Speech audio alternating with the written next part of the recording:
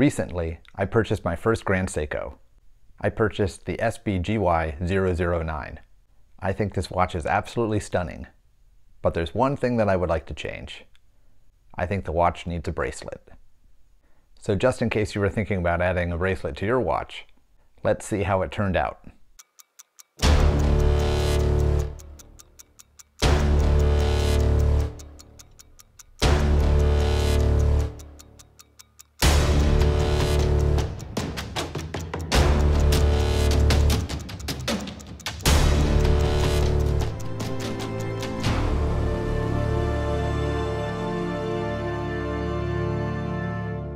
Pocket Watch time. You know I'm a Pocket Watch fan.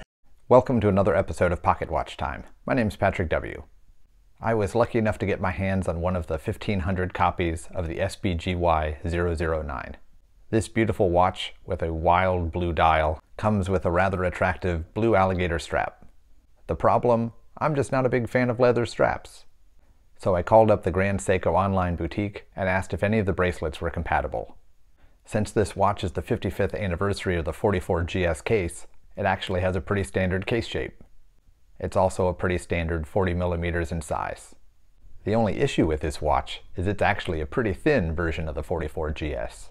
So the boutique confirmed that in fact they did have a bracelet that they thought would fit with this model. And of course, here it is. Does the bracelet fit? Yes, it does.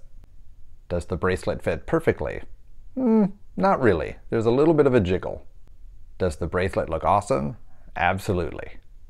So as you can see here as I kind of roll my wrist around, there's a little bit of a gapping where the bracelet meets the case. Not really a big deal, and if I didn't point it out, most people probably wouldn't even notice it.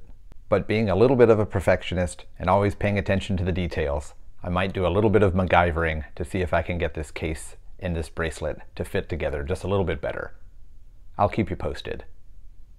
But as you can see, the 44GS case looks amazing on a bracelet.